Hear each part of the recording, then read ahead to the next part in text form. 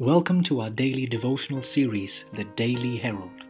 I pray that these messages will come to you as an encouragement and a reminder to be heralds of the Lord daily.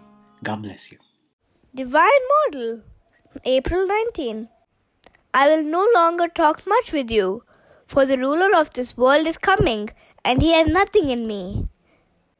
John 14:30 the time of trouble, such as never was, is soon to open upon us, and we shall need an experience which we do not now possess and which many are too indolent to obtain.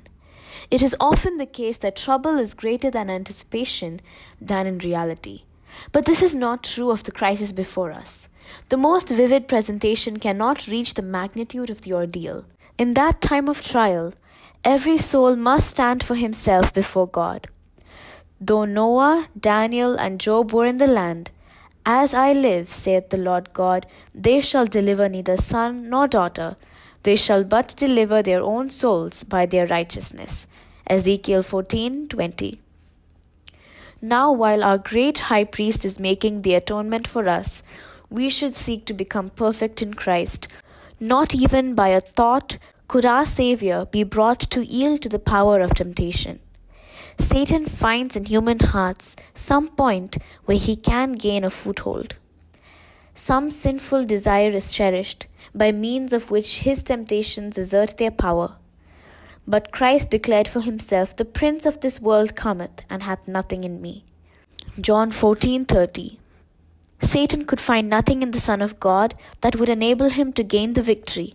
He had kept his Father's commandments, and there was no sin in him that Satan could use to his advantage. This is the condition in which those must be found who shall stand in the time of trouble.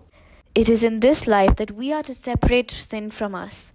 Through faith in the atoning blood of Christ, our precious Savior invites us to join ourselves to Him, to unite our weakness to His strength, our ignorance to His wisdom, our unworthiness to His merits.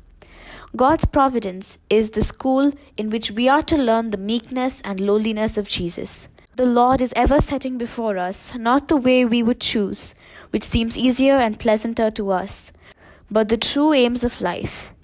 It rests with us to cooperate with the agencies which heaven employs in the work of confirming our character to the divine model. None can neglect or defer this work, but at the most fearful peril to their souls. Further reflection What cherished sin must I give up? How can I unite my weakness in this area of my life with the strength offered by Jesus?